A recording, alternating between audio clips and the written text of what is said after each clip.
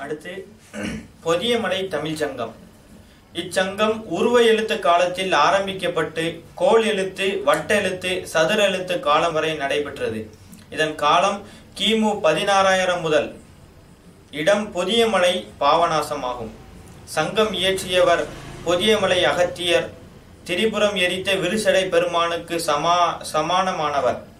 பரமேஸ்வருடைய ஐம்பெரும் குழுவில் தலைமை தாங்கியவர்.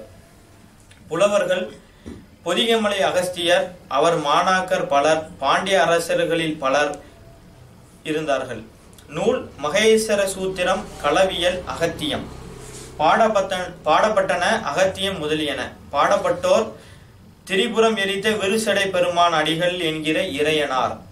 கவி அரங்கேறியவர் பொதிமலை அகத்தியர்.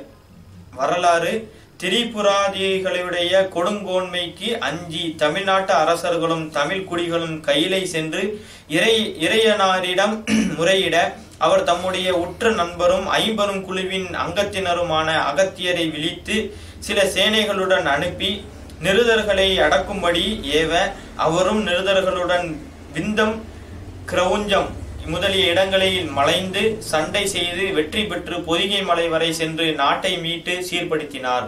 பொதிகைக்கு தென்பால் அவரால் போக முடியவில்லை.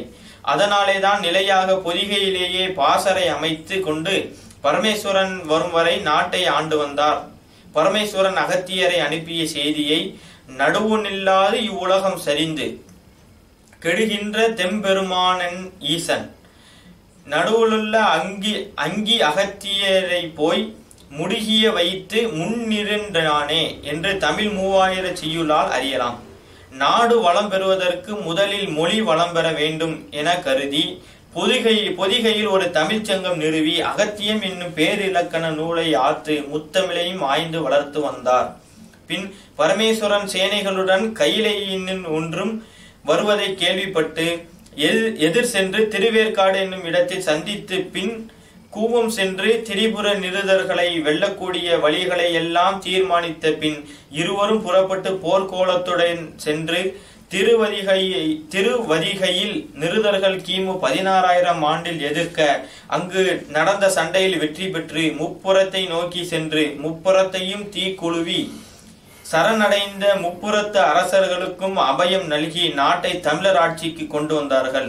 இதனை மூவையில் செ- செற்ற நா- நான்று உயிந்து உழவரில் இருந்தவர்கள் திருக்கோயிலின் வாய்தல் காவலாளர்கள் ஏ ஏன்றவிய பின்னே ஒருவன் நீகரி காடங்காக ம- காடங்காக மானை நோக்கியார் மானட மகிழ மணிமுமலால முழக்க அருள் செய்த தேவ தேவனின் திருவடி அடைந்தேன் செழும்பொழில் திருப்புண் கூ- கூருளானே என்று சுந்தரர் தேவாரத்தில் அறியலாம்.